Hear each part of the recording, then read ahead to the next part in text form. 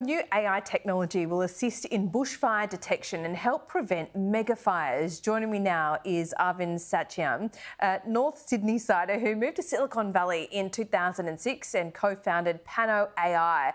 Arvind, thanks so much for your time. I really appreciate it. Talk us through what this technology can do.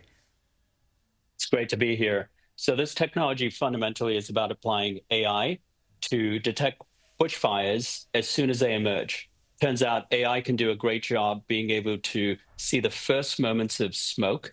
And one of the big things that we've heard as we've met fire agencies, whether it be in Australia after the Royal Commission or in the US and in Canada, every one of these large fires starts small. So if you can apply technology to be able to detect the incidents as soon as they start, be able to pinpoint exactly where it is, and then use Zoom capability to figure out exactly how that fire is evolving, you can make a lot of those early decisions that could fundamentally change the game in terms of whether that becomes a large scale incident or whether you can keep it down. And that compare that to a status quo, which is a triple O call mm. that goes into dispatch, and then you need to send out an engine to figure out what's happening with that incident. So we we essentially compress that time, which could be hours, into minutes.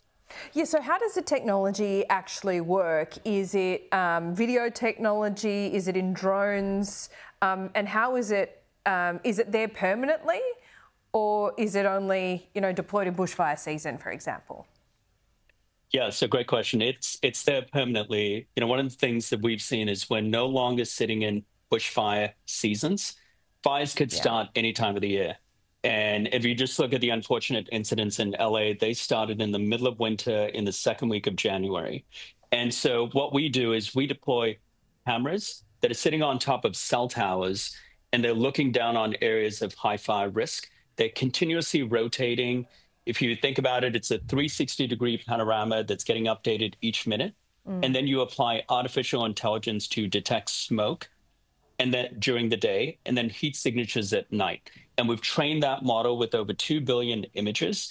And, you know, if I think about San Francisco, we have self-driving cars, we have AI applied to a number of other problems. And five years ago, the question that we wanted to ask, and as somebody that grew up in Sydney watching the bushfires, yeah we wanted to ask if the latest and greatest of tech was being applied to this problem. It turned out that it wasn't, and it could absolutely make a difference. Okay, so we're talking about really high res pictures that AI can perhaps um, analyse better than the human eye. Is that essentially what we're talking about? Um, and can it distinguish from um, I don't know, like a, a, backyard bonfire or something that is in the middle of um, where it could turn into a, a mega fire? Yeah. Uh, so when it comes to smoke, the AI is essentially getting trained on a lot of images that could tell you is it smoke or not smoke. Okay. Now, in the early moments of smoke, uh, it's hard to distinguish is that a backyard barbecue gone wrong or is that a fire that could spread into a large bushfire? So what we're training the model to do is to detect smoke as quickly as it emerges. Mm-hmm. And then we have human analysts that are trying to create apply context. So we want to make sure that we're notifying to fire agencies on incidents that become smoke versus a cloud uh, or a dust cloud. You have a farmer that's going down a hill and it's kicking up a dust cloud. We want to make sure that we eliminate that. Now, as far as whether that is a large scale prescribed burn or a high rate of spread bushfire, we're essentially giving that intelligence to fire agencies, and they're able to make that decision real time uh-huh. as to how to respond and how to more effectively respond. Yeah, right. So you're just giving the information to the fireys and, and, and then they do their further analysis and you're about early detection. So has this been rolled out? Um, has this been used at all on, on large scale, either there in America or here in Australia yet? Absolutely. So we've rolled out to 11 states in the US and we're in five states in Australia. Uh, if I think about just the last bushfire season in Australia, we're deployed in the Green Triangle, so that's both in South Australia and in Victoria.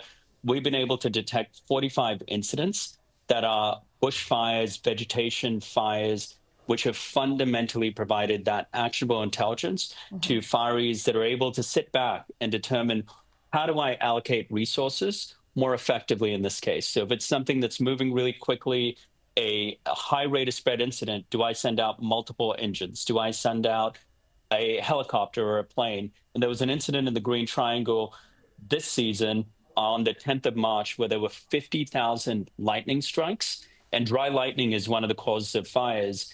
And in this case, we were able to spot any flare ups very quickly that allowed them to respond much faster. And, and the Green Triangle put out a note recently talking about how this has helped them contain the scale of these incidents.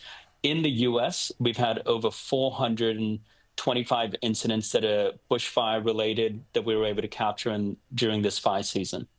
Arvind, we really appreciate your time this morning. Uh, let us know uh, what you're continuing to do there in Silicon Valley. It sounds impressive indeed. We'll see you soon.